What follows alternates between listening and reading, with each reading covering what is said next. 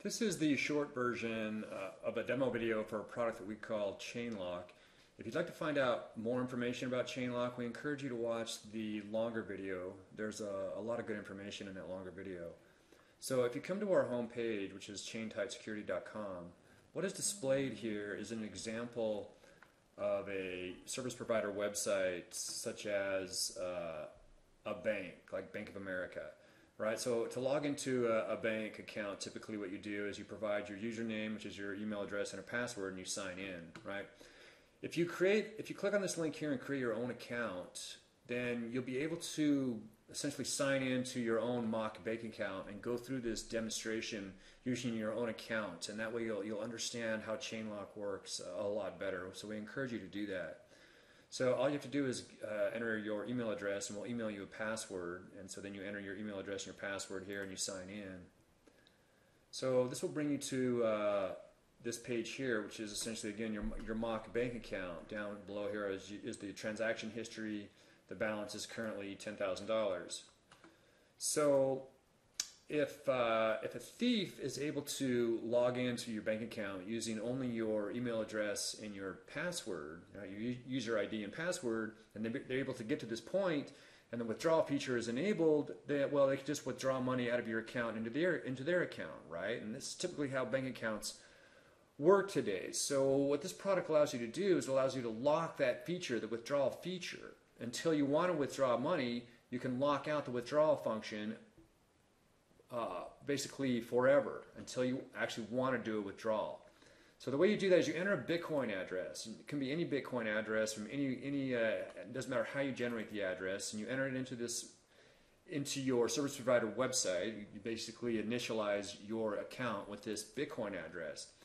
So in order to chain lock withdrawals, like we click on this chain lock withdrawal button, right? It asks me to enter a Bitcoin address. I've already entered this address previously, so it's the default value in there. So now it's asking me to use a Bitcoin wallet app to transfer 20 cents into the Bitcoin address, and it shows me this Bitcoin address. So over here is a screen capture of this uh, our cell phone running the Mycelium Bitcoin wallet.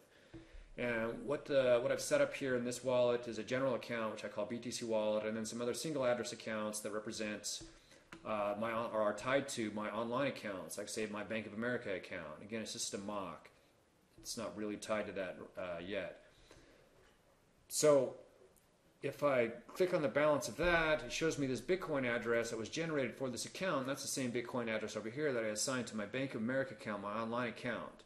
So it's asking me again to transfer 20 cents into this address. So the way I do that is I go to accounts and I select my general wallet and I go to balance and then I go to send, right? And I want to use my addresses and I select my Bank of America account and the amount I select uh, in US dollars uh, 0.2, right? And then I hit OK.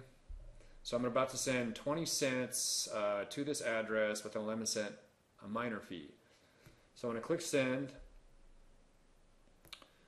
So I go back to accounts, I can see there's a zero. The balance is still zero for this Bank of America account. It takes a, a few seconds for the the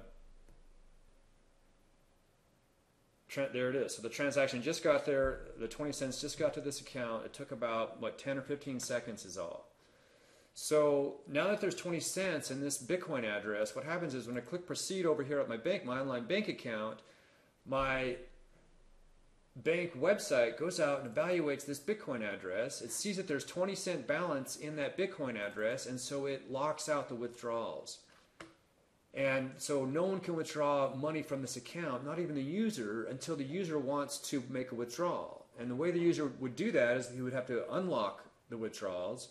And so if I click unlock withdrawals, it asked me to use a Bitcoin wallet app to transfer balance out of the Bitcoin address, right? Same Bitcoin address. So, so it's asking me to transfer this 20 cents that's in this Bitcoin address out of that address, which I would just do using again using this wallet. I can just send, and I can send it back to my general wallet, and then that would be a zero balance Bitcoin address. And when I did that, if I when I if I come back to this uh, main page of my account the withdrawal feature will then, will then be active. and I'll be able to withdraw funds. So again, right now, the withdraw feature is disabled still because in this Bitcoin address, there's 20 cents, there's a, a non-zero balance. So that's essentially how Chainlock works uh, at a very simple level. We have implemented several different enhancement features that you can view by clicking on this page, the enhancements page, but you can only look at that page if you create an account and log in and go through this demonstration process for yourself, and then you can view the enhancements that we've already implemented and are working on. So again, if you have any questions, please contact us through our, our contact page. You can also check out how the How It Works page. Uh, and we look forward to any questions or comments you might have about the product. Thank you.